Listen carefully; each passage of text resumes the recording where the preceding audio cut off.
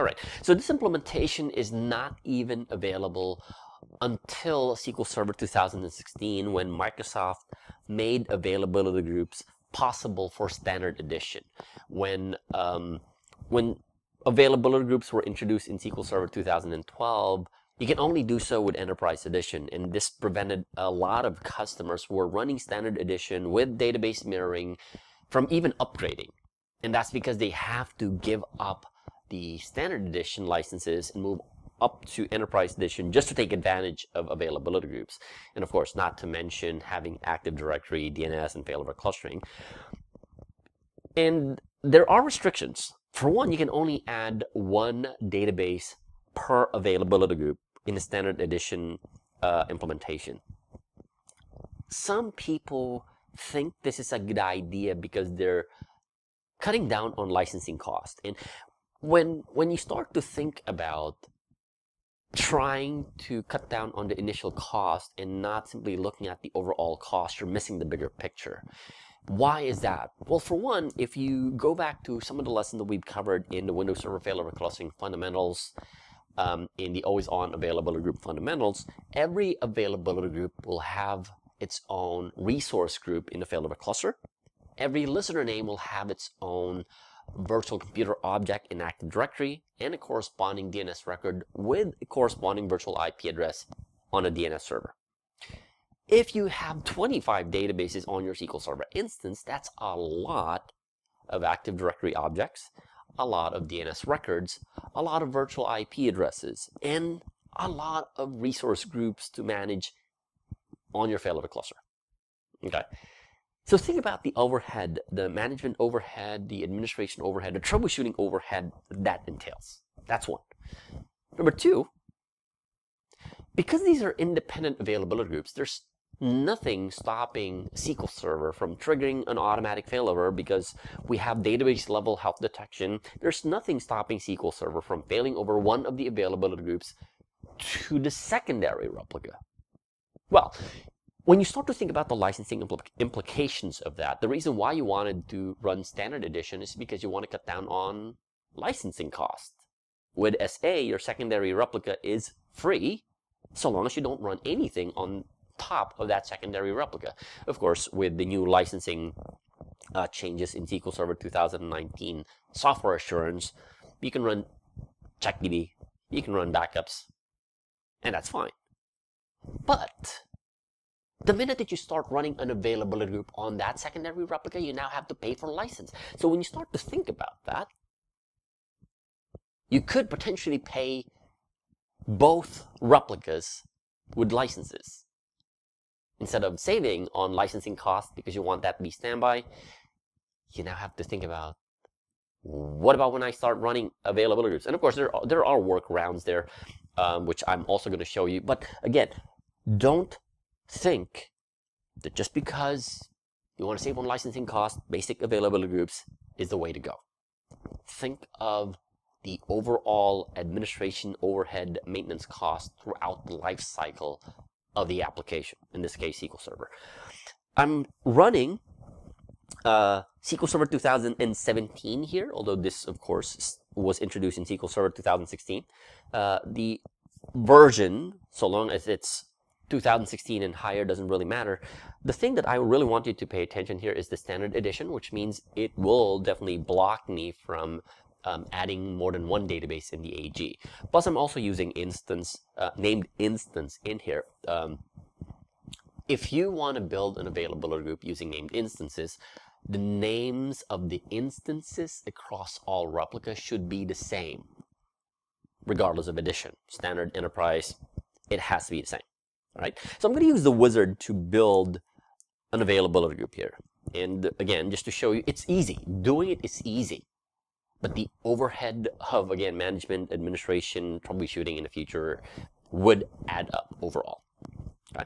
i'm going to use the wizard create a new availability group and i am i'm going to call this adventure works for the adventure works database ag i'm going to use the database level health detection and um, my AdventureWorks database is available. Notice that I already have databases in here that were joined to an availability group. And notice as well that when I checked that box beside AdventureWorks database, the other checkboxes were grayed out. In fact, if I click on one of these, wait, nothing, right? If I add this, it will tell me um, this one. It says a database is already selected. Only one database can be added to a basic availability group. And uh, this is, again, the, one of the limitations when you create an availability group using standard edition. Of course, in addition to having many availability groups, each one with its own listener name and a virtual IP address. But I'm going to show you that later. Okay, click next.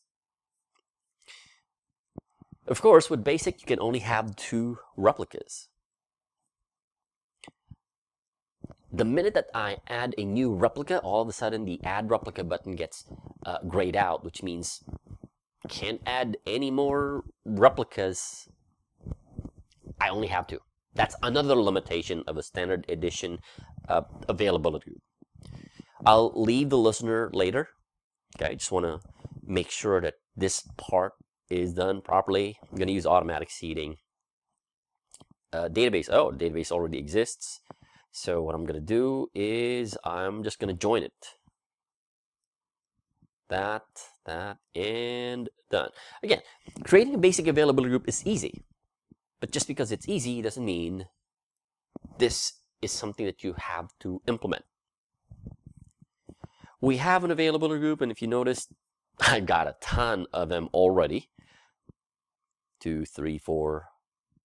This is the ninth, or I think the tenth one. My availability group is healthy. And here's the thing. I only have one database in here. My dashboard now is restricted to only the database, the availability group that it covers. Which means if I need to start monitoring, and like I said in the beginning, the overall management administration overhead that involves working with this because now I don't have a single pane of, pane of glass to look at all of the databases in my AG. I'll have to look at every single one of them. Okay. So this is what I wanted to show you, really. I've got like a ton of these. 1, 2, 3, 4, 5, 6, 7, 8, 9, 10. 10 availability groups, each one with its own listener name and virtual IP address. Listener name, virtual IP address. So if somebody's managing your failover cluster, they're like, whoa, now they have a ton of resource groups to manage in, on top of the failover cluster. What about your Active Directory, guys? Well, I'm going to open up my Active Directory users and computers here. And now if you start to look at this, I'm going to refresh this. I got a ton of these. All of these were created because of my basic availability groups. Every single one of those will have a virtual computer object. And mind you, there is a limit by default to the number of computer accounts that you can create in Active Directory. By default, that's 10. Okay? What if you have 25 databases? Now you have to ask your AD administrators to inc increase that quota in order for you to continue to create virtual computer objects in Active Directory. What about the DNS?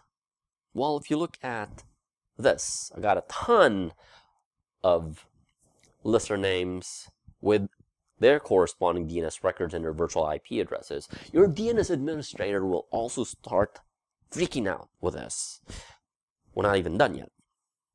Let me log into the machine, the one that is currently running as the uh, primary replica.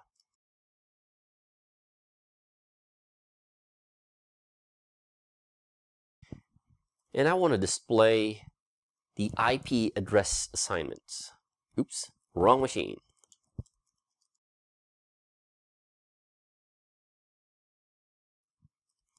Whoa, look at that. I wanted I want you to look at the Ethernet adapter LAN. This is the public network adapter that we use to connect to this machine. The 172.16.0.11 is the physical IP address of the machine. The 172.16.0.18 is the virtual IP address of the failover cluster's cluster name object. And then we got 171, 172, 173, 174, 175, up to 179. We have not even added the virtual IP address of the AdventureWorks database availability. Your server admin will start to freak out when he starts to see this because now the management, the tracking of the IP address and so on and so forth, again, the management overhead that this entails.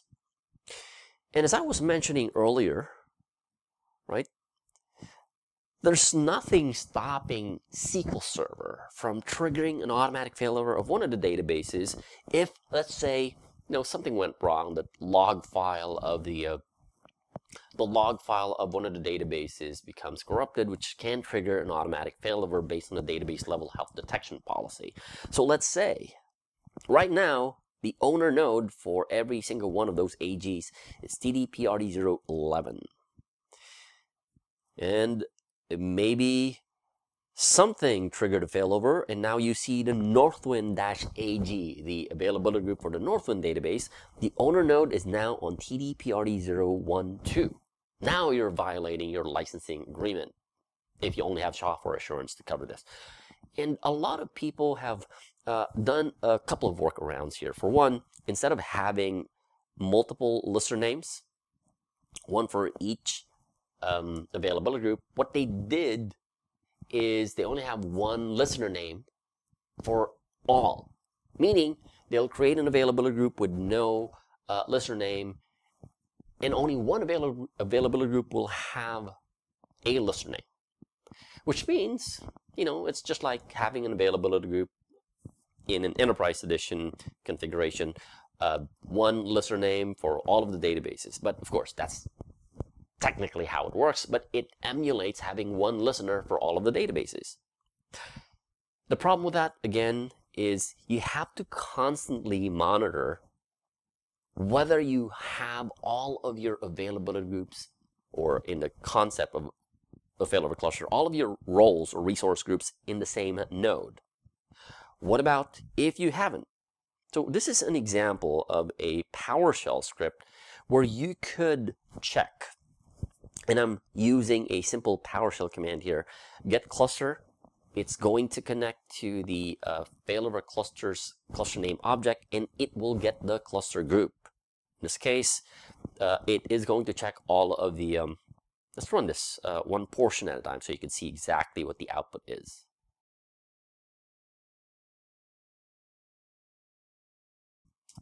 Here it will display all of the uh, cluster resource group. Notice the PowerShell command that says cluster group. That's why I still like calling it resource groups. And if you notice, one of the, well, actually two, because you see available storage, but we don't really have um, shared storage here. But if you look at the Northwind-AG, the owner node is TDPRD012. Let's include another parameter here or a where filter and uh, filter that out. If you notice, um, I got two, but I'm only, only really concerned about the Northwind-AG. It's running on TDPRD012. What you can do is you can then use the move cluster group PowerShell commandlet. This will pipe the output of the previous command that we had and it will move those resources over to the other node. We can only have like two nodes, or rather two replicas in an AG, so this will force the failover. But one thing I don't really like about failovers is that the failover is an outage. So your transactions long running uh, queries, they are going to get rolled back and terminated. That's why I don't really like this. And I've seen people uh, use either SQL Server agent jobs to run a PowerShell commandlet to do this. But again, just to guarantee that all of the resource groups are in one node. Not a big fan of a failover. We are trying to minimize failovers because we want to minimize outages. And again, nothing is stopping SQL Server from triggering an automatic failover if something goes wrong with a database. So you really have to uh, think about that. Is this worth you know pissing off your Active Directory guys, uh, adding more work to your DNS guys, your network guys, your failover clustering guys, your Windows guys, just because you want to save on SQL Server licensing. Again, it's very straightforward to do. There are some limitations, but beyond the limitations, it's really the overhead of managing, uh, administering, monitoring, troubleshooting issues down the road. There is a document below that you can follow to build your own environment. In this case, you can build a four node Windows Server failover cluster, but you can only really add two replicas in an AG. So make sure that you really have to think about the uh, uh, uh, the overall maintenance uh, cost throughout the life cycle of the application. Most uh, ISVs and um, application vendors recommend this because it's they think, oh, I'm the only database. Our application is the only database we can run on uh, an AG, and that's one of the reasons why they recommend it. Again, think about the overall administration, maintenance, operations, troubleshooting cost down the road, and not just the initial licensing cost to implement this.